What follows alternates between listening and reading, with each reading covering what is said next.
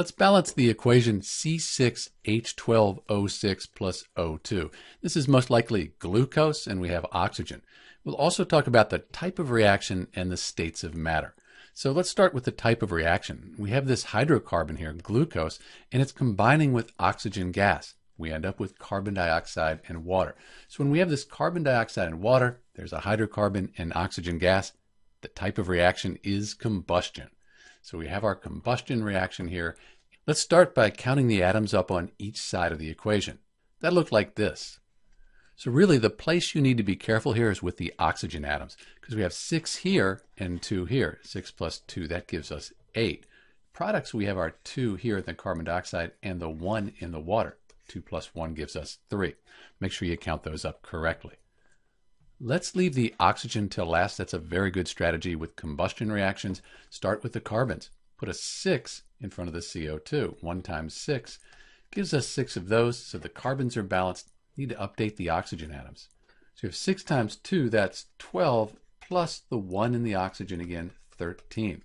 Let's update the hydrogens. Could have put a 6 here, so 2 times 6. That'll give us 12. We've balanced the hydrogens. Let's update the oxygens.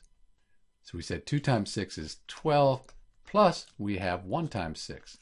That gives us 18 total oxygen atoms. Since we have the oxygen by itself, we could change this and it won't change anything else. But it's a little bit complicated because we have these six oxygens here plus the O2. Here's how to think about that. We have our six oxygens plus some number. That's going to equal 18. So 6 plus 12, that would equal 18. So if we could get 12 oxygens here, we'd be done. Easy enough, just put a 6 here because 2 times 6, that's 12. So we have 6 here plus the 12 here, that equals 18. This equation, it's balanced. The key here, leave those oxygens till last with combustion reactions.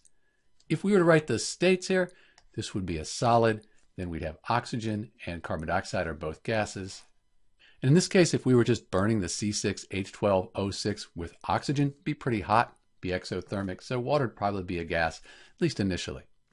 This is Dr. B with the balanced equation for C6H12O6 plus O2. Type of reaction, combustion. Thanks for watching.